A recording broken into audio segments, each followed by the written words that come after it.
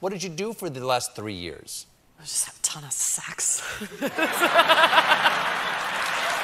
for you. Good for you. What did he say?